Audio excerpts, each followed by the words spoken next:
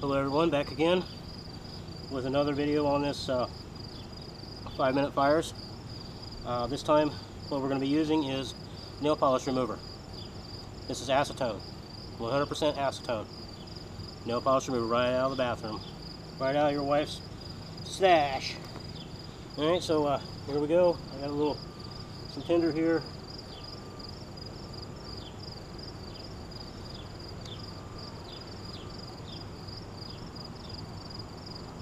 Stuff's wicked. We'll need a cap full. Alright, I can keep it going. Wee! Look at that.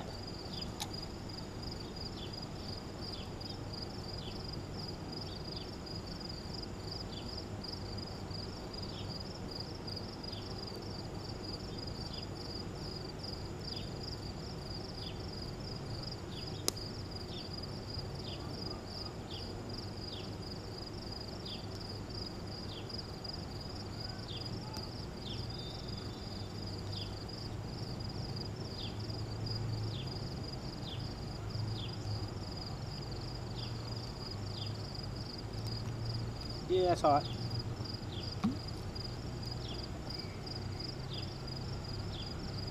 Stuff's no joke. Nail polish remover. wife will probably hate you for using it, but it's cheap. She can get more. Sorry, ladies. We'll buy you more. Anyways, Shazam. What was that, 30 seconds? It took longer to freaking stack the sticks up than it did to get the fire going. All you need, as with anything, is an ignition source. Ferro rod, just a simple spark does it, all this stuff.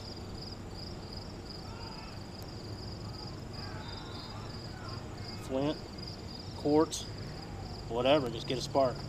Battery off your car. Just be careful.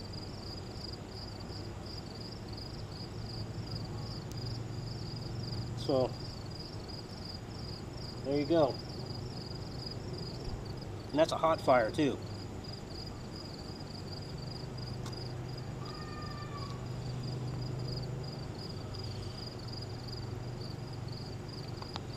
So I hope you guys enjoy these. Got more to come.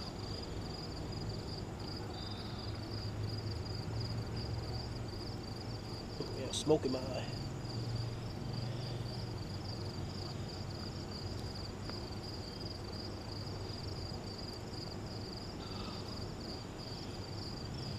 So if you can't keep a fire going with this stuff, you're in bad shape.